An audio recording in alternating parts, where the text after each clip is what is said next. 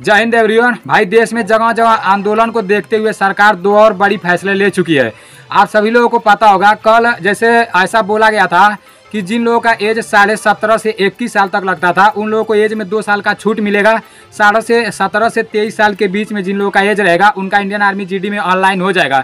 लेकिन आज एज में पाँच साल का छूट कर दिया गया गृह मंत्रालय ने अपने ट्विटर पर ट्वीट कर दिया है, ठीक है ना? और इसके साथ ही साथ जैसे जो हमारा आसाम राइफल का भर्ती होता है, या सीएपीएफ का भर्ती होता है, उसमें जैसे ये जो इंडियन आर्मी की भर्ती कराई जाने वाली है ना, चार साल के लिए, अगर इसमें भर्ती हो जा रहे हो तो फिर आपको, जैसे जब आप रिटायर होंगे तो आपको 10 परसेंट छूट मिलेगा। किसी भी भर्ती में जाओगे जो सीएपीएफ के अंतर्गत आता है या आसाम राइफल में तो आपको 10 परसेंट का छूट मिलेगा। जैसे हम लोग ये एन करते हैं तो इंडियन आर्मी की भर्ती देखने जाते हैं तो इंडियन आर्मी की भर्ती में जैसे दस परसेंट का छूट मिलता है ना, जब बी का सर्टिफिकेट रहता है तो तो इसी तरह उसमें जब भर्ती हो जाओगे और जैसे ड्यूटी करने के बाद आओगे, आपको ऐसा, पहले तो ऐसा बोला जा रहा था कि प्राइवेट में जॉब मिलेगा अब ऐसा बोला, जो बोला जा रहा है वही मैं आपको बता रहा हूँ। अब ऐसा बोला जा रहा है कि जैसे इसमें दस परसेंट का छूट मिलेगा।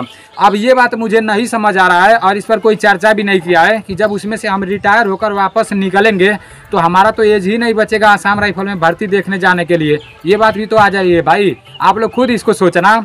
और सीएपीएफ की जितनी भी भर्तियाँ होती हैं, उसमें भी एज लिमिट रहती है। तो रिटायर होकर आएँगे तो हमारा एज ही नहीं रहेगा तो फिर इसमें हम भर्ती कैसे देख पाएँगे?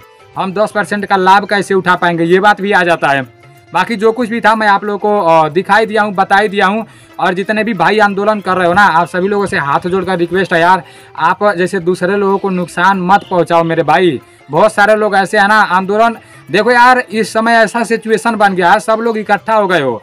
और सभी लोगों के, सभी लोगों तक ये बात पहुँच गई है। और पहले ऐसा नहीं होता था। बस एक जगह के लोग इकट्ठा होते थे तो सरकार सुनती नहीं थी।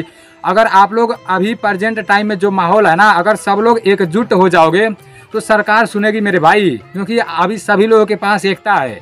सरकार को सुनना पड़ेगा, सुनने पर मजबूर हो जाएगी सरकार। ठीक है ना? तो इसलिए भाई, आप लोग सरकारी संपत्ति को नुकसान मत पहुंचाओ।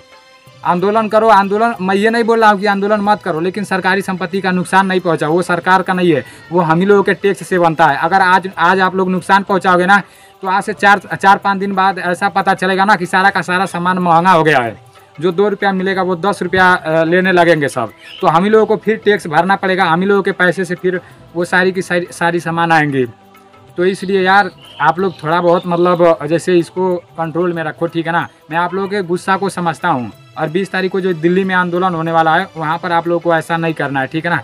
शामिल तो होना है, सबको होना है, लेकिन हम लोग अपने हक के लिए वहाँ पर चलेंगे। लड़ाई के लिए नहीं, ठीक है ना? सरकारी संपत्ति को नुकसान पहुँचाने के लिए नहीं। देखो, सरकार बहुत जल्द जल्द फैसला ले रही है। ग्यारह बजे अभी सरकार, जैसे देखो, अभी ग्यारह बजे ना, हमारे रक्षा मंत्री और हमारे तीनों सेना के प्रमुख जो हैं, उन लोगों की बैठक होगी। ग्यारह बजे आज फिर से बैठक होने वाला है, टीओडी के ऊपर चर्चा होगी।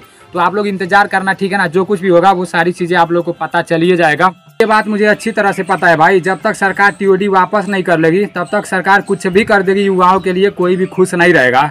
अब देखते हैं आगे क्या होता है, बाकी जो कुछ भी था, वो सारी चीज़ें मैं आप लोगों को बता दिया हूँ।